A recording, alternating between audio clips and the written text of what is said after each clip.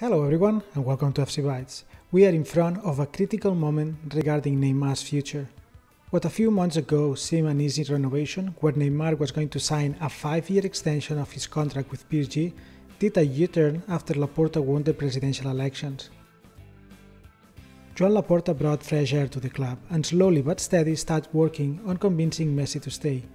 The performance of the team also improved, winning the Spanish Cup and challenging Atletico de Madrid for the league, which resulted on Messi changing his mind and seriously considering staying with Barca for another two years at least. Neymar is obsessed with playing next to Messi again, and knows that his friend is closer than ever on staying in Barcelona. Thus, Neymar has decided to postpone any decisions on his contract extension, even though all the parts, including his agent, had already agreed on the new contract conditions. Well, today the French newspaper L'Equipe published that Neymar will sign his new contract this Saturday.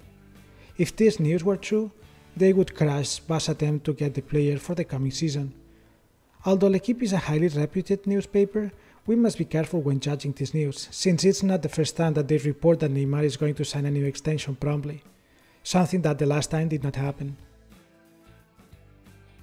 L'Equipe news contradict the one reported by Jose Alvarez, He's the journalist that weeks ago announced that Neymar was paralyzing any contract extension talks with PSG, waiting for Barca, while most of the French media was reporting that the agreement between the Brazilian star and PSG was a done deal. According to Jose Alvarez, Barca has been in talks with Neymar recently. They have told him that they are very interested in his return and they will pursue him this summer. However, they cannot make any move until the auditory that is being performed to Barcelona finances is concluded. The same news mentioned that Neymar was fully on board, saying that he is open to wait another year if necessary to return to Barcelona as a free agent.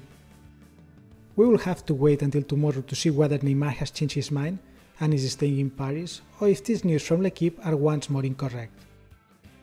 So these were the news of today. Thank you very much for your attention. As always, if you enjoyed these videos, smash the like button and subscribe. Let me know what you think about this potential return of Neymar in the comments down below and see you next time.